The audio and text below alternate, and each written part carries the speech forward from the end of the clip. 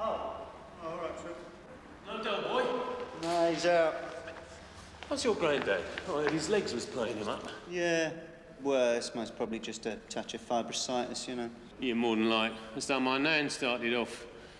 Did you ever meet my nan? Well, only at her funeral. so you were at her funeral, weren't you, Dave? Trig, why'd you call me Dave? My name's not Dave. My name's Rodney. I thought it was Dave. Oh, it's Rodney. You sure? Yeah, I'm positive. I've looked it up on my birth certificate and my passport and everything. It is definitely Rodney. Oh, well, you live and learn. So what's Dave? A nickname, like? No! You're the only one who calls me Dave.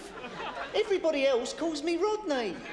And the reason they call me Rodney is because Rodney is my name. Oh, well, I shall have to get used to calling you Rodney. Thank you. Yeah, Basil, you're going to get this meeting started? Me and Dave ain't got all night. Rodney! Yeah, yeah. Uh, can't start the meeting without the vice chairman in attendance. It's in our constitution. Well, how long's he gonna be? Ooh, could be a hell of a long time, son. He died a fortnight ago. Died? Well, what was the point in calling the meeting? Well, I was hoping if we'd had a bigger turnout to elect a new vice chairman from the floor. You need a new vice chairman? Well, if it'll help you out any, Baz, I'll nominate Rodney. What? Right, seconded.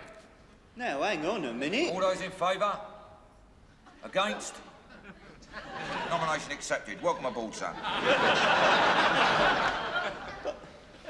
I don't want to be vice chairman. I thought you was interested in all that political malarkey. Well, yeah, I am, but I don't want this job. Oh, well, I suppose Del Boy was right all along. What do you mean? Well, you always said you was too immature to accept responsibility. Oh, did he? Well, we'll have to see about that then, won't we? Where do I sit, Baz?